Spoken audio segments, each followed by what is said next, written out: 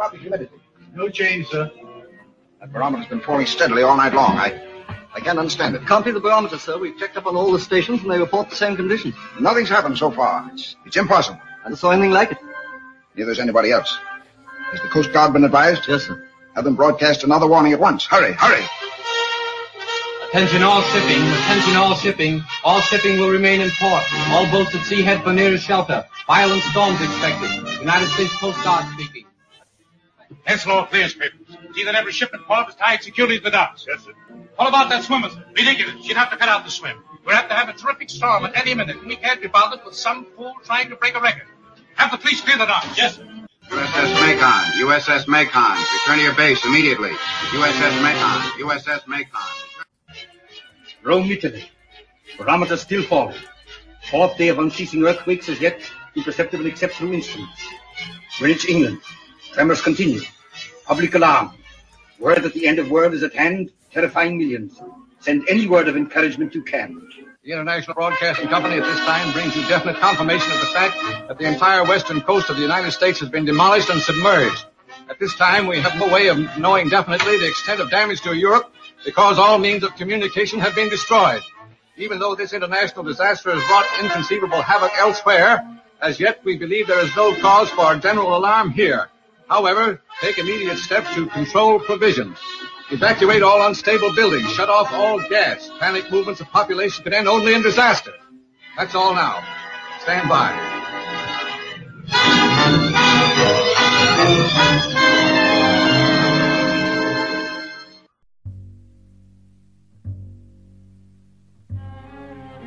You are listening to They Must Be Destroyed on Sight. The following podcast contains adult language, adult situations, and spoilers for the movies discussed occur often. You've been warned. Now, take it away, Dr. Roush. They must be destroyed on sight.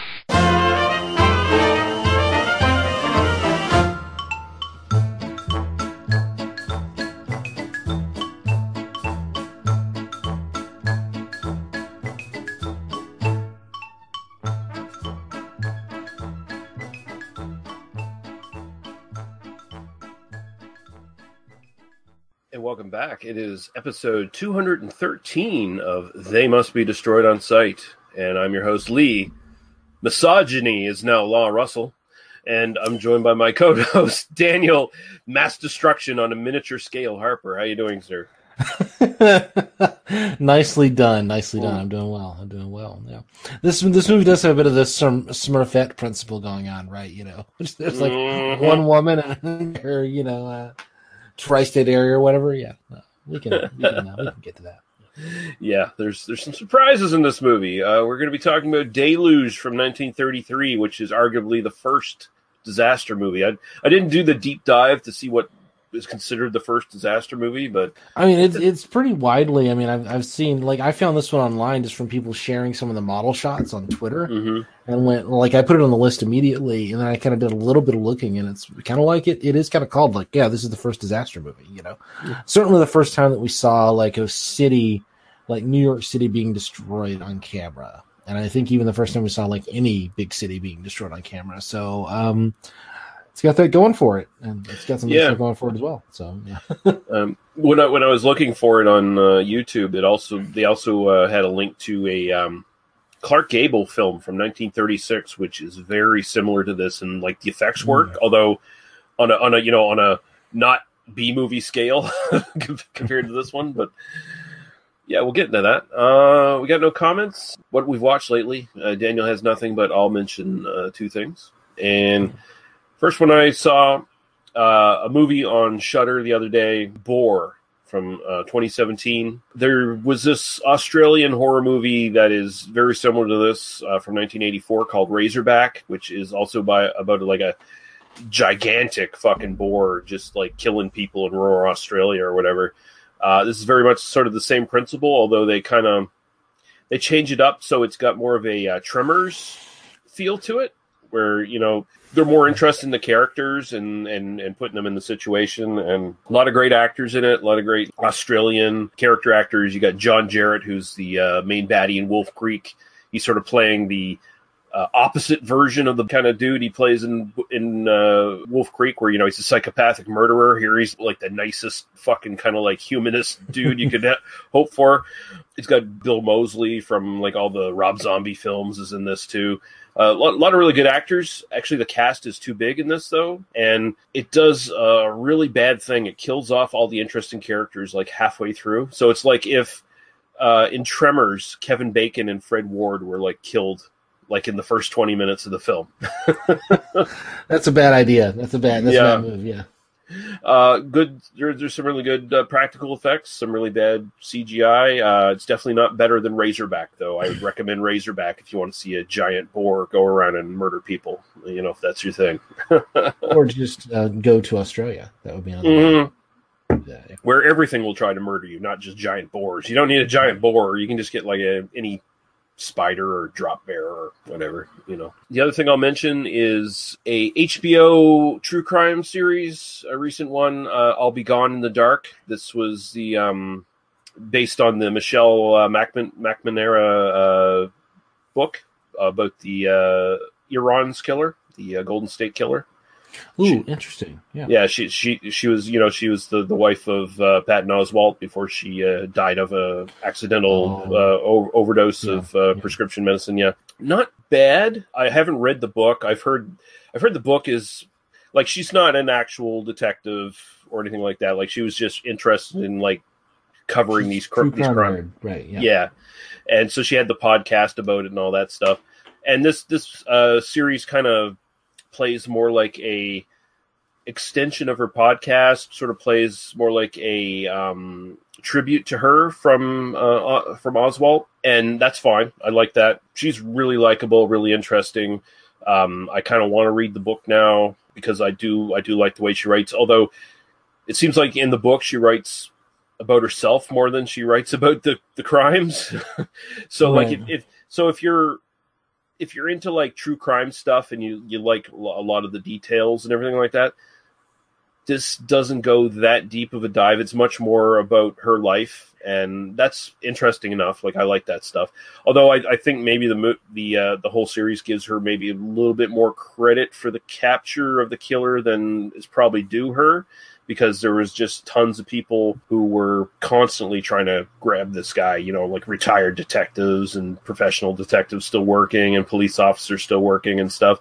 And she, you know, collaborated with a lot of them. And uh, I mean, to, to, give her credit, she definitely kept it in, in sort of more of a public spotlight and, and got more attention to it. So she deserves credit there but it's it's fine. It, it's not like the best sort of like true crime documentary I've ever seen. I think it's a bit too long, like six episodes. It could have been three episodes, but you know, it's it's all right. It's all right stuff. Um, glad they finally caught that that fucker. Like he just got sentenced like the other day, didn't he? Or today, maybe even was. Um, I think. Um, oh, I haven't followed the news in the last couple of days, so you know. Yeah, yeah. But uh, no, that's that's I'm actually interested in that. Even if even if it's not very good, I'm kind of interested in that. So I might check that out. How did you How did you uh, check that out? I checked it. Uh, well, it's it's it's on HBO. I, I, assume like their streaming thing or whatever. Right, right, but right. I just went to a Putlocker for it because I don't oh, have okay. HBO or whatever. But it was it was worth like I mean she's really likable and interesting, and you can tell why Patton Oswalt fell in love with her, like kind of thing. Like just really really smart woman.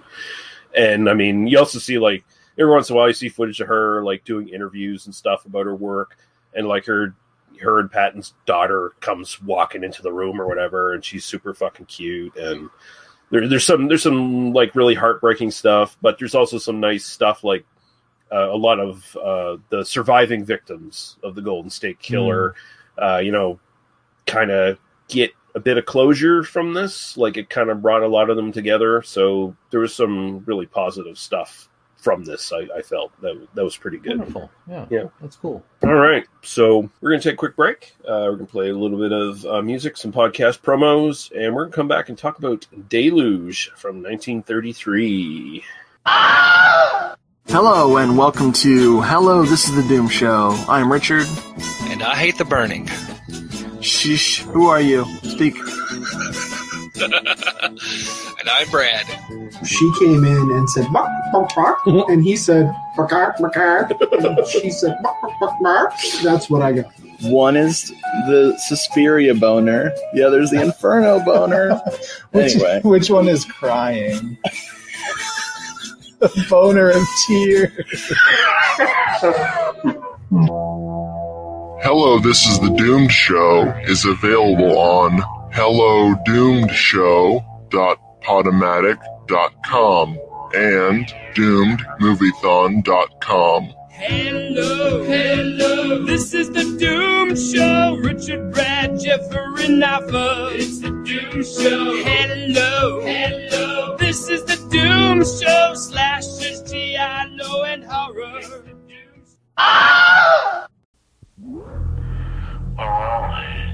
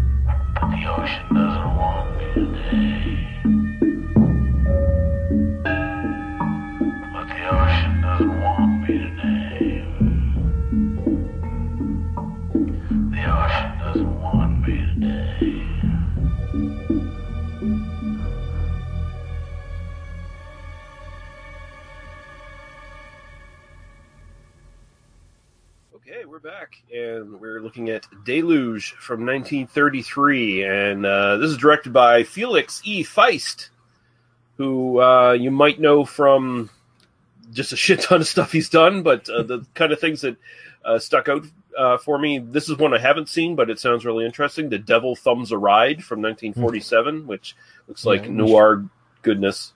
Should put it on the list. Yep, for sure. And the one I did know is Donovan's Brain from 1953, which was his Hmm. last uh, feature film. Uh, so yeah, look, good looking stuff here. Uh, written by uh, John F. Goodrich and Warren Duff, and it's uh, based on the novel by S. Fowler Wright. And I actually read a bit of it uh, the other day because it's it's uh, public domain, so you can. Uh, Oh, nice. Yeah. I was meaning to check that out. I just didn't get the chance, but cool. Uh, so this is starring um, Peggy Sh- Shannon as Claire Arlington, and can't remember if it's her or the other one that uh, I think it's her had a really short life, like she only lived into her thirties, uh, chronic alcoholism. Died, died at 34 in Yeah. 1941. She scarred her liver up, and which is a Yeah. shame. It is. It is one of those things. It is one of those things of like you know, died of alcoholism at 34, and you're just like, gee, how much, like Mm. how bad does your alcoholism have to be? to, you know, like that's rough. That's rough. I mean, was she drinking turpentine and stuff? Like, fuck, man. Like, well, I mean, um, if she was an alcoholic for for long enough, I mean, she was pre-prohibition, so you know, who knows what you know. right, right. Uh, Lois Wilson as Helen Webster, and she lived on to like the eighties. Like, she went to ninety something. She died at, I think. Nice. Uh, yeah. So, and Two extremes on that one. Mhm. Very long career, a lot of stuff. I nothing jumped out at me on that one. Sidney Blackmer is uh, Martin Webster. The one thing that jumped out here for me on, on his career, he, also a very long career, Rosemary's Baby. One of, one of the old Satanists in Rosemary's Baby, as far as I can uh, remember. Nice. So yeah. oh, Um, and had a bit part in uh, Perils of Pauline. oh, did he? Oh shit! Okay, Yeah. I didn't. I didn't his, uh, catch that. for his Wikipedia. I just caught that. Yeah. Uh, Matt Moore as Tom, and he was in the original 1917 version of 20,000 Leagues Under the Sea. Uh, he was in he was in the front page uh, that we've covered, and uh, another thing that stuck out: I Bury the Living, which is a nice little uh, sort of B horror movie. Fred Kohler, big time movie villain in the, the early years of Hollywood as Jepson, and he was in The Iron Horse from 24 that we covered. Ralph uh, Harolde as Norwood. Edward von Sloan, as you may know as Van Helsing from Dracula and Dracula's daughter. He was also in uh, Frankenstein and uh, The Mummy. Uh, so he was jumping all around Universal horror stuff uh, around this time, and he had a pretty long and distinguished career. And Samuel S. Hinds as chief forecaster. And we have a synopsis here from Ken Miller on IMDb. New York City awaits a massive series of tidal waves, which has already struck the North American West Coast. As the waves strike and destroy the city, Martin is separated from his family. Seemingly the only survivor, he meets Claire, and they give one another aid and comfort during the crisis. Later, other survivors arise. As society attempts to rebuild, Martin and his wife Helen reunite. Claire, who has shared a great deal with Martin during their time alone, informs Helen that she will not live without Martin. And uh, yeah, that's that's like the story in the back half of this kind of kind of thing. yeah, but this is a really interesting one. Uh, I I was actually very surprised by some of the stuff that jumps out in this film. Uh, once you get past the uh, the initial kind of like money shot of uh, the destruction, but uh, It's funny, what, how are they front load, it's funny how they front load all the effect shots, right? You know, it's, Mhm. it's, uh, yeah, no. but uh, yeah, what, what are your initial thoughts on this? Uh, yeah, sure. Um, it's kind of got a three part structure in which uh, Mhm. you know you kind of have this uh, opening, which is very kind of traditional disaster movie stuff, and uh, Yeah.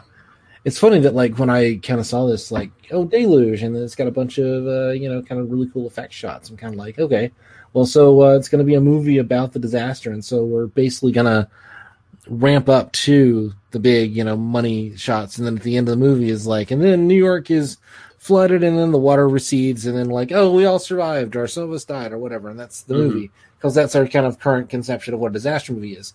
Uh, not so much here. All that stuff happens in the first, like, you know, 15 minutes. I mean, this is only Yeah. an hour and six minute long. Um, and so, uh, or like 70 minutes or whatever. Apparently, bits of this might be missing. Um, I mean, there Yeah. are kind of a couple of different run times you find if you kind of Google around for this.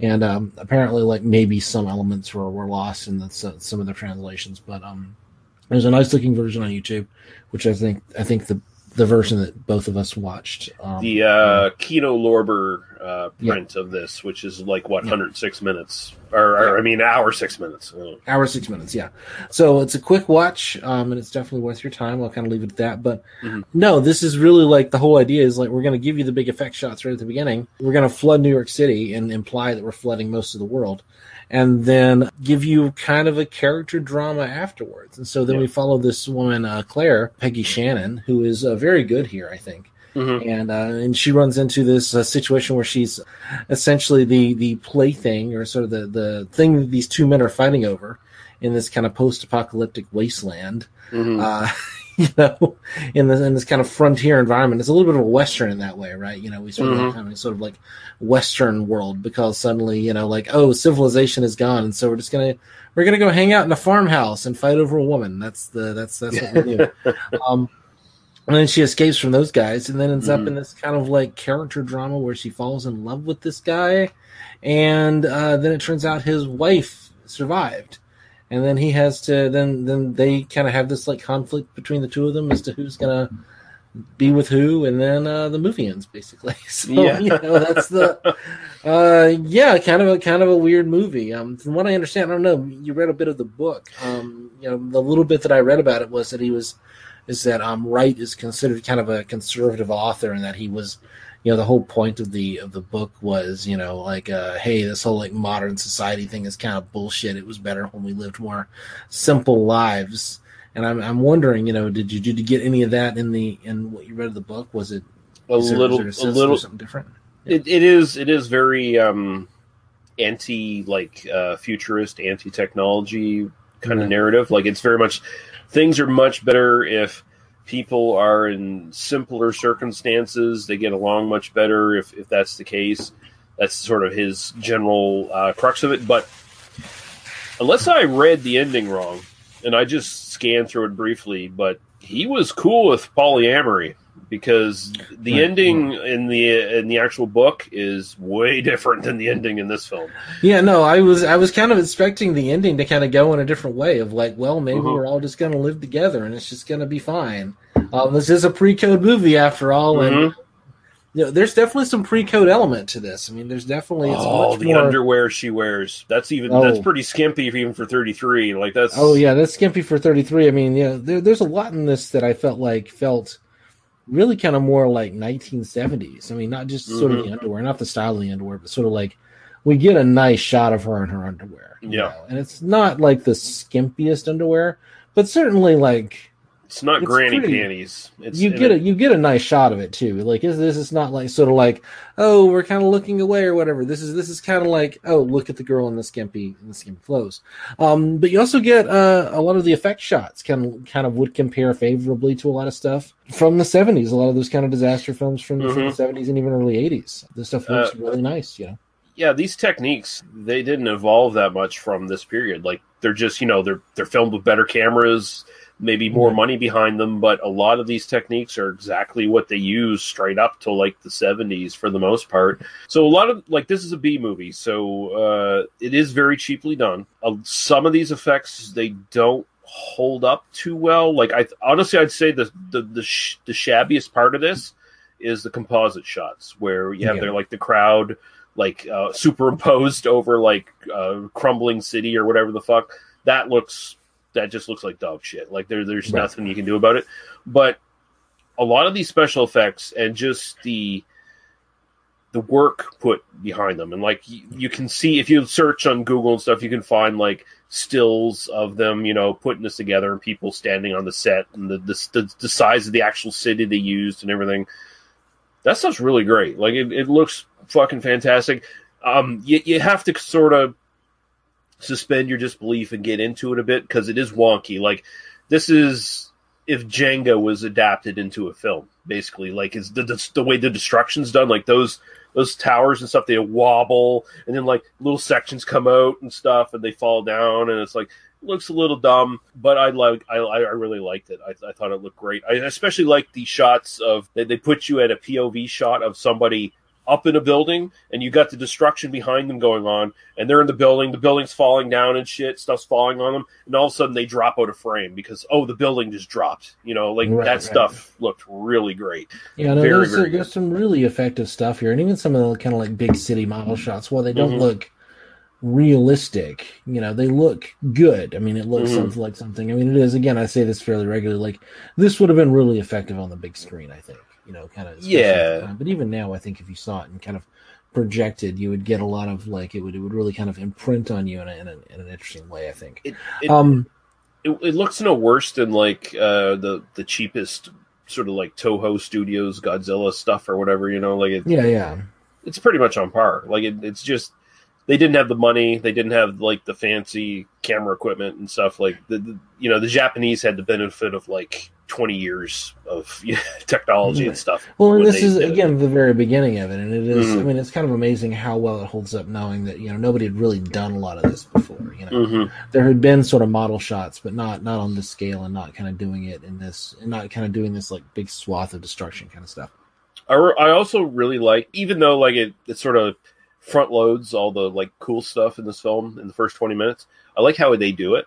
I, I like that you know it starts out with this sort of like stock footage foo kind of stuff where it's like you know disaster happening, barometers going down, blah blah blah blah blah, and then you see like you know uh, fucking airplanes flying and stock footage of ships and stuff like all ships come back into port. And you see all this stock footage of ships. Look at all our stock footage you know? And it, it's back in the day where you know the footage they're actually shooting doesn't look any better or worse than the stock footage so it all blends very well. So i like that. And in, it's very effective in the, in the way that it essentially cuts about 20 minutes of bullshit you don't need out of this film. Like it just stuck it, the, the, the opening like 20 minutes of this uh, or well the opening like 10 minutes of this before they get to the 10 minutes of destruction. It's just a big montage. And they insert briefly oh yeah here's uh here's our professional swimmer character who's going to be the love interest. Here's our family You, you see them briefly. You see a really bad effect shot of uh, the family who live in this like country house, even though they look like they're rich upper class people. There, there's this really bad shot of a tree hitting their house. The, the tree doesn't even like sort of lean over and then fall into the house. It just goes like that real quick, which is like okay, uh, you, you could have you know uh, overcranked that a little bit maybe, but the, the way they get you to the disaster stuff really quick, they don't bore you with a bunch of details about plot and all that shit. It's just like disasters are coming, and here's the disaster, and that's really cool. Then they bore you with the next forty minutes of what the fuck is this shit? right. Well, and I feel like the uh, I, feel like a lot of like the reason a lot of films were short around this time was that they would show them as double bills, Mhm. and so you got to an evening at the movies, and so you'd see sort of an A picture and a B picture, and this would be sort of like right. you would see you know oh like big sumptuous romantic drama or whatever, and then like cut to you know brief intermission, go get some more popcorn, and then come back and like city destroyed. yeah, this is. Uh, I think this is like a you know like a Skid Row kind of picture. It was you know a very very cheap seat kind of movie. We'll get in you know into the money details, but it, it, it did like apparently moderately well for RKO at the Yeah. time. At the time, made a little money. That's fine. Yeah. Um, what I find interesting, just in just, I mean, you know, we could keep talking about the effects forever, although I think we should kind of move on from uh, Mhm. and talk about some of the rest of the film. But um, what uh, I find interesting about sort of like production design is that like you you you talk to people who do this kind of work for on any kind of scale on on music videos on the you know like people who are making music videos for a few thousand dollars. I mean, this is something that like you you see um, you know, even today. I mean, music videos are basically made on like a shoestring budget by like you know like entrepreneurs who are just kind of going out there and doing and bidding like the lowest possible bid, and so they kind of do everything themselves. And what they'll tell you is that you know production design is really about time. It's really it's it's Mhm. not really you know it, it's it's not really about like what tools you have because kind of everybody has the same tools you know like at that level as much as it is it's about like how much time you can really kind of put into it and Right. like when you look at these kind of like exquisite models it is like yeah the models just look really good and if the They models do. look really good then you're gonna get a good looking scene kind of regardless of you know your kind of other technical limitations that are kind of built around it. And and i think that that's sort of like even in terms of like you know scenes and you know why do so many like sitcoms look really cheap? Well it's because like all the walls are like decorated with like like one photo in a in a corner or whatever. Like it doesn't Mhm. look real. It looks like this kind of like super cheap set because not because it's even cheap but because they didn't put any time into like actually developing it. So yeah. Again one of the ways you make a cheap movie look good is you just put time into like you know designing every frame um, and i think that that's kind of one of the lessons we can take from a movie like this um moving on into uh, some of the other um, elements i mean again that kind of second part this sort of like you know the swimmer runs into these two dudes Yeah. and like you kind of think man one of these guys like it feels a little bit like a fargo like peter stormare and like Buscemi situation yeah. You're like this woman. She's gonna end up. She's. They're gonna eat her. you know, like you know, there, there is this. There is this kind of sense of like, man, there's something really dark happening in the in the center of this movie. I don't know. I don't know. Like, uh, I really liked the uh, the look of uh, what's his name, Jepson. Yeah, Fred Um, Kohler. Yeah, Fred Kohler. Um, with the, I think he's the one with the like the big hair and Yep. the bushy red beard.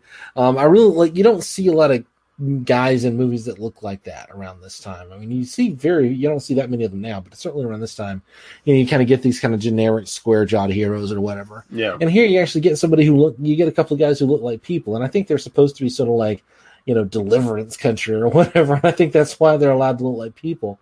But uh yeah, like, and then you think like, oh, this this is a horror movie all of a sudden. Like we're we're Mhm. we're in the middle of a horror movie, and I don't know what did you what did you think of that little, you know, twenty minute bit in the middle? I kind of wish that the whole film was kind of like, you know, the the whole last half of the film was just about this. Honestly, Mhm. like it, it's a it's a really it's a really good tension piece. Although you know, basically the other guy isn't sympathetic at all because he's the first one to try to rape her. Right. it's like it's like okay, the the, the Steve Buscemi tries to rape her basically, but a little of the old in and out. A little of the Mhm. old out. No, But no, they- I'm just I'm they- just doing bits from Fargo now. It's fine. Yeah, but they they, they yeah, he- he was kind of funny looking. what in a general sense or not? Just funny looking you know like uh, yeah no uh, but this film really goes south really fast. And i don't mean it in a bad way. I just mean like it it takes it takes a thematic turn that you were not expecting at all. We have you know we have these two goons who find her washed up on the beach. She survives because she's a great swimmer. And so that's that's the only reason So she she just swim to Mississippi. That's what happens. She leaves New Mhm. York, swims all the way to Mississippi, and that's that's where she that's where She does it twice. She swims a big distance and she swims another big distance and washes up on the shore. She's got a bad habit of doing that. I imagine in another world, another universe, there was like a series of sequels. Because at the end of this movie, she just goes and swims off, and Mhm. she just keeps swimming into different movies. you She know, looks like she looks for the anthology movies. She looks for the the utopian post-apocalyptic society that she can oh, finally yeah. fit into because she gets away from these two fucking goons. One of them gets killed. You know, Kohler kills the, the Steve Buscemi guy, strangles him to death because he's trying to muscle in on my woman. Like, there's even a conversation. It's like, I found this cabin. I saw I it. it. I found the cabin first. I own it. God damn you! yeah, and I found her first. I own her. You fuck off. And he's like, I'm gonna go out and try to fix the boat so we can do some fishing and shit. And uh, you come with me here. You know, come. And he's like, he thinks about it. It's like, no, I'd rather go over there and like try to come in her. And that doesn't work out for him too well. He gets bashed with a pan on the head. Then he gets strangled by Fred Kohler, who comes back in like, what the fuck's going on? She runs away. She, she strips down again. Thank you, movie. Jumps in the water. Quite as long of a shot at that point, but you know, you get a little bit. You get a little bit. Yeah. Then she swims into this other society, a little ways down the down the uh, coastline, I guess, where women are given no agency at all. they are now commodities, and they are either give they're they're given these options: you take a husband, you're given a husband, or you're just fucking raped and you like it. Basically, is, is what it is, and that's supposed to be the ideal society. Right. That's This- the this good is- this society the- in this This film. is the great. This is you know what we need is a nice dose of patriarchy. You know, just a Mm. nice dose of like completely authoritarian patriarchy. You do get another woman living in the society, and even children running around. So Mhm. clearly, this is where this is the this is the actual healthy society that is reproducing itself. This is where you'd actually want to live. Um, you know, yeah but but but you know she she meets up with our our hero from the beginning there who is probably the only like thing close to a decent guy in this film who you know who who lost his family she feels sorry for him they fall in love yada yada and then we discover not only that his wife and children are actually alive uh, we also get the conflict of Fred Kohler, like gets this big gang of fucking thugs. Like, I found a woman. You want to come with me, and I'll give you all dibs on her. We can all fuck her, basically. I think is like the deal there. Right. And, and so they're they're like, yeah, we want to fuck a woman, and so they all bring their guns and they go looking for our hero. And then we have the town of Misogynyville or whatever, who are technically the good guys in this film. they uh they help them out, like they save their bacon, basically. But Yeah, no, no. yeah, it's uh this film goes places. it definitely goes places. It definitely goes places. Um, what I found uh, interesting is that you get the uh, the guy's wife shows back up at the end, Mhm. and then suddenly there's this there's this tension because like there's this kind of love. It's not even like a love triangle. It's kind of this like Yeah. love, you know, V almost, where you know the guy is kind of torn between the two women who both, you know, he has a legitimate like decision to make, and like they Mhm. never really make a decision. You know, No. it's kind of just like you know. Sh- she makes a decision. She's like, Well, she makes this. a decision of like, well, you know, if you're not gonna, I mean, if it's gonna be a bother, I guess I'll just go swim to the next terrible society where people are gonna try to rape me. That's Yeah. that's clearly the next choice in my life. Well, in in the original book too, it's the women who make the decision. It's like No. the, the the original wife sort of gives her the original wife comes back and it's like, well, if you're in love with my husband now, I I can't intrude on that. I'm just take my kids and leave, and then it's the the new woman who's well, no, fuck, come, let let's you know let's come together. And so in a way, uh, the original story is the good version of the world, the flesh, and the devil. Well, not not the good version, but the better ending, the world, the Right, flesh, right, and the devil. yeah, yeah. And and this movie sort of could have gone there and touched on that, but it doesn't. So it's like okay, uh, I don't know. Maybe certain things were like too far even for the pre-code era. Like they I really weren't willing to go there. I think there might have been some of that. I'll tell you. I'll tell you. I'll tell you where they were willing to go. I'll tell you where they're fucking willing to go. You, the auction at the end of the film, Yeah. where you know they're they're auctioning off like you know the what's it like a Venus de Milo or the fuck statue, and there's a black guy in the in the auction who goes, "Well, I'll give you two bits for that there uh, statue because well the arms are broken off." And Yes, got the, his arms are broken. It's like Jesus Christ. You got like one black guy in your movie, and of course this is it's like I don't even want to give it the credit for it's 1933. It's just like wow, that was racist even then. Sup- Like that's and, and then it goes creepy because an old guy buys the statue and Right. implies he's going to jerk off to it later. Uh, I'll take that for a dollar. Yep. You guys got no imagination.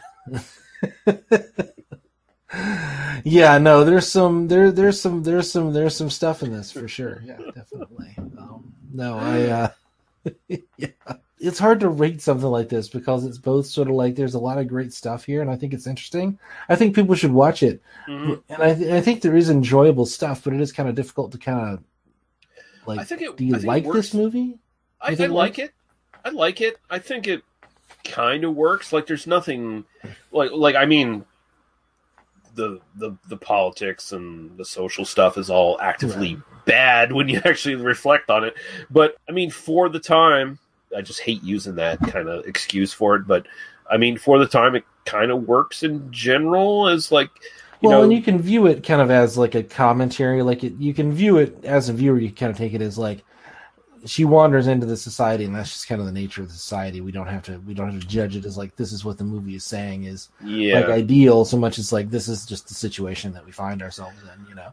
Yeah, but despite the fact that like there's one black guy and he's like, you know, that statue's broken. We clearly can't. I, I'm not paying for a full price for that. It's like, oh man, that they, they, and you know all the white people laugh at him like look at that funny negro but you know he, if you ever stepped out of line you know he was going to get lynched right i mean Oh, that's yeah, yeah. Well, there- exactly what was going to happen One black guy. He's like the. then again, there's a way of like resolving that and being like, yeah, he's just putting that on so that like they don't lynch him. um, it turns out that he's like this very like well lettered like Shakespearean actor or whatever. and then like in the next scene, you know, our, our our heroine, you know, like runs into him and suddenly she, he like gives her food and it's like reading Shakespeare and it's like, oh well, no, actually, madame, I am you know this very well lettered person. I just have to play this role. And then it turns out that that's the real like loving relationship that she needed to be in all along because he respects her like you know natural human rights and uh, yeah then you get then you get harry belafonte for world flesh and the devil right Yeah, yeah, no, that's it. Yeah. That's it. This would make a nice little, uh, nice little companion piece. It would. It, it really Devil, would. Yeah. I think the first 20 minutes would work as a really great short film. Like it- it's uh, like a highlight reel kind of disaster piece thing. And I mean, honestly, um, you know, part of the trivia here, that footage was bought up. Oh yeah. Yeah, like other studios, they didn't want to buy the whole film. They just wanted to buy the disaster footage and, and reuse that, right? So I mean, there there is some value Russ there. Meyer bought a very particular like six seconds of this movie for his private for his private uh, you know viewing. But uh, you know, other than that, yeah, it was pretty much just a disaster. Right, yeah. Yeah. I, I think it's you know it's not it wouldn't be a contender for my best of the year. No, uh, definitely not. But I think even as clunky as like the transition from the disaster to the sort of melodrama conflict thing is, it works fine. And and I mean it, it's it's a bit of an anomaly for its time. You you were saying this is probably the first time any audience ever saw a disaster film, really Yep. unless you know this is playing at the same time as King Kong, and you know they, they you know maybe this is on one side of the street and King Kong's on the other, or maybe even double bill. Who knows? I didn't like look into it, but you know, imagine seeing this and then going and seeing King Kong. That'd be something back in the day. That would be. That would be. You'd be like, you know, this is the future of cinema. Mm-hmm. Stop motion special effects. if, if you if you were to ask me what I prefer uh, to even today, I'd be like, give me the stop motion, honestly. So, and I'm not even saying that to be like an anti CGI snob, but I'd rather have practical effects. And I mean, there's no reason why stop motion can't be done other than cost and time. Like that's the big factor Right. now, right?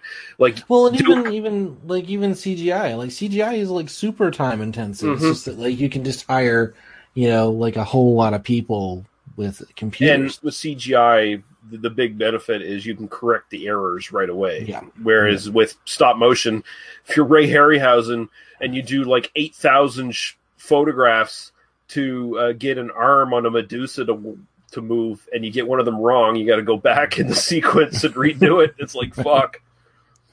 Yeah, and King Kong was actually released first. It was released in uh, March, April, whereas uh, um, Deluge was released in August. So you know, Oh, okay. King Kong, King Kong was a few months before this, and uh, you know, cost six times as much for that matter. So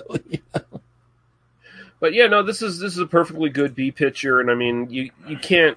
I, I don't think you can um, overstate the influence of it. Like, I mean, honestly, I see so many. I've seen so many movies, whether they're you know big budget ones today or just shitty little B movies that do this sort of thing. They're all kind of spawned from this idea. I mean, they, they all use the same Yeah. techniques. They got the miniatures, they've got the composite shots.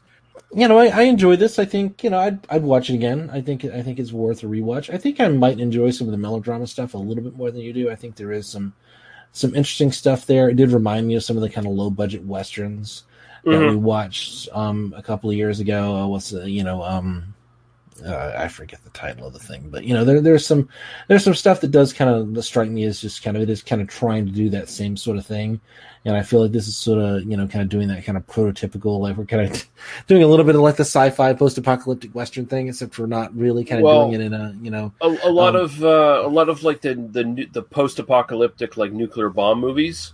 Like Mhm. this is this is the DNA of that. Like they do the exact same thing. You got the nuclear bomb, and then like, but although basically the whole movie is people fighting over women or whatever the fuck, Right, right? right, kind of thing. Yeah. Yeah. Yeah, so uh, overall, I think it's interesting. I think it's it's definitely again, it's worth an hour and six minutes of your time, or you know, however long your your cut lasts. Um, Mhm. that Kino Lorber uh, print looks really nice, and um, yeah, it's enjoyable. It's not on our top ten list, and again, part of that part of that is it's you know it's kind of we've seen this before, and part of it is uh, we're you know we're watching a lot of the greatest movies ever made this year. Yeah. so, you know, um, it just doesn't like it's clearly not on that not on that caliber, but um, it is it is worth a watch, and uh, I think um, people should uh, see it more and talk about it more. I, I totally agree. I, I would I would recommend people see it. Even just you know if if you're a film nerd and you kind of want to like research where certain certain tropes and things come from, like there's a lot of stuff here that uh, you see in movies even to this day that really owes a debt to this kind of stuff. So uh, so do it. Budget for this was 171,000 or so es- estimated. Uh, apparently, it went way over budget. So, uh, although it was a mild success, from what I could gather from different sources, they made about a quarter of a million dollars in returns, and it probably didn't make any money actually. Uh, when all said and done for advertising and uh, all that other shit, but um, for a number of years, this was a lost film. Yet another lost film that we run into. Uh, there was a dubbed Italian release that was discovered by Forrest J. Ackerman of all fucking people, uh, Uncle Forry. I uh, can't imagine why he would have a copy of this sitting in his vault. Yeah. Well, no, I mean he just he discovered the Italian uh, dubbed print apparently. Mhm. Uh, you know, and Forrest Ackerman, uh, founder of uh, Famous Monsters uh, magazine and uh, general one of the original fucking horror movie nerds, sci-fi nerds, and he. No, I meant so- that. I meant that. Didn't he own the original like King Kong for a number of years? I think he did. Yeah, like like he was he was a collector. He he was a pre- Yeah, he was a wa- big time collector. Yeah, he was into preserving all this stuff, right? So I was being he- sarcastic. No, it makes perfect Uh. sense that this would be in his collection. Yeah, Yeah, but no, he hunted it he down. had, he had like one of the original like buildings like sitting in the background. Had his water stains on it or whatever. He Yeah. he had the original bikini. Uh, he sold it to Russ Meyer in 1961. yeah. uh, but yeah, so he hunted this down, found in 1981. So that was released with you know uh, English uh, subtitles, and it was it was a very poor quality. But in 2016, a complete duplicate and uh, English dubbing was was discovered. uh, in the French National Archive, and so they went with that. And that's the Kino Lorber print you see now, which looks fucking great. Like it, it looks pretty exquisite. Like I said, the composite shots they look like dog shit, but that's actually on the filmmaking more than it is Right. trying to clean the like. it's not because the it's not because the negative looks like crap or anything. It's it Mhm. looks like crap because it accurately captured the way it looked in 1933. uh, and as I said, the uh, early special effects uh, portions of the film appeared frequently in subsequent Republic serials and features, which uh, they bought them for. So uh, you can see uh, a lot of this footage in SOS Tidal Wave from 1939, Dick Tracy versus Crime Incorporated in 1941, uh, King of the Rocket Men from 1949, and The Martians and Us 2006 TV series, apparently. Which Yeah. I don't know, what the fuck that is, but uh, I kind of want to check it out just to see what the hell Yeah, that's about. Uh, it could be like they just like put it on a TV in the background or something. like Yeah. that, you know. Like you know, oh, Night of the Living Dead shows up on the TV in this horror movie from the '80s. Yeah, no kidding, because you know, a scene in Deluge that features a wave that uh, leaves New York submerged in water and nearly all inhabitants of the city drown would later be recreated in the 2004 disaster film The Day After Tomorrow. And yeah, that's uh like there's a direct recreation in that film of this. So. Uh, yeah, good stuff. Uh, so next time we're gonna have some very special guests from the Grind Bin podcast, and uh, we're gonna be doing the Testament of Doctor Mabuse. That's a big film. We're gonna have a lot of shit to say about that one. Uh, we're gonna have you know two guests. Probably gonna be a long episode, I imagine. Yeah, but Uh, uh, until then, forward to it. hmm And then it's one I've wanted to do for a long time, so uh, it's good stuff. So uh, until then, uh, Daniel, uh, where can people find you on the interwebs? You can find me on Twitter. I'm at Daniel Lee Harper. That's usually the best way to get in touch with me. I also do a podcast about uh, far right dipshits called I Don't Speak German. Find that at I Don't Speak German.libsyn.com. Yeah. And uh, you can find more of this on uh, tmbdos.podbean.com, where you can find our Facebook, YouTube, uh, and Apple Podcast links. And of course, you can find all of our other little podcasts that we've been uh, sort of doing uh, underneath the uh, TMB DOS uh, sort of umbrella. Uh, we just recorded a Cape shit tonight uh, for Avengers Age of Ultron, so you'll see that very soon. All the uh, weird radio shows that I do. Uh, the blood the blood on the tracks and uh, got a got a show with uh, Lee Van Teeth, the Wolfman, uh, coming very soon. Probably by September, the first episode of that's going to show up, and uh, that should be fun. And uh, yeah, until then, uh, thank you guys for listening. Thank you, Daniel, and uh, we'll see you guys again. Goodbye. Goodbye. Cheers.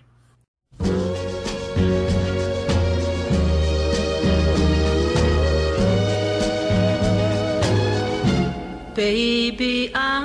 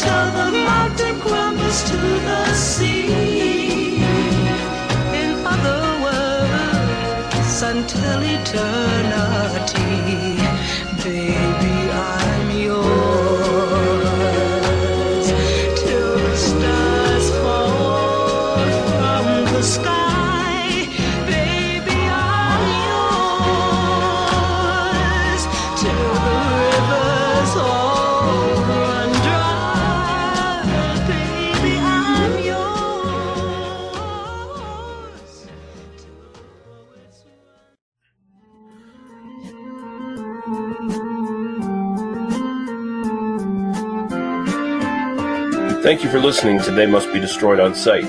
For further episodes, our Apple Podcast, Facebook, and YouTube links, please go to tmbdos.podbean.com. Thank you. Drive through.